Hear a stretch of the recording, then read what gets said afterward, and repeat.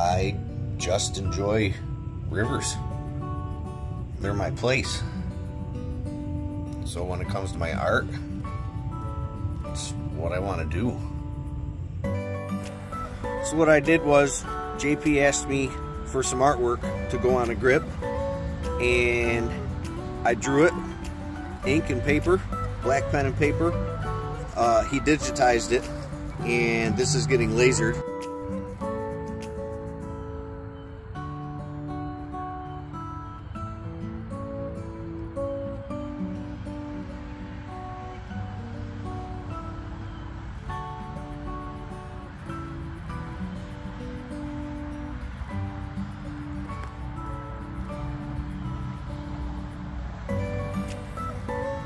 So this is the first artwork I did as I was trying to get over shingles actually.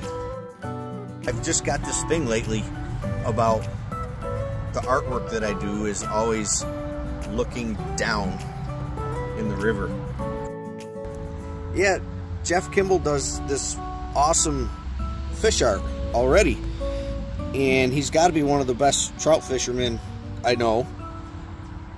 And to have my art next to his on the same rod is like, I don't know, it's like fishing with him on a creek.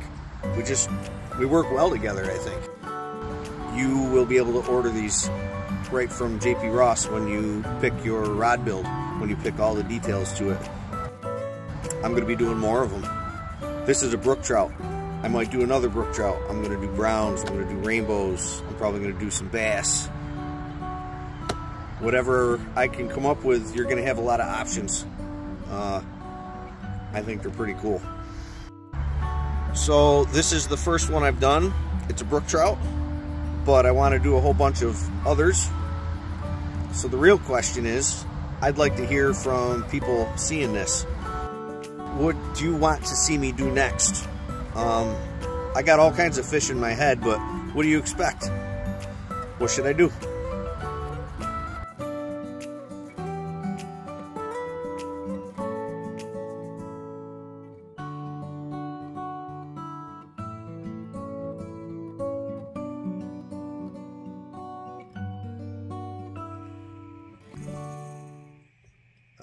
Pretty happy with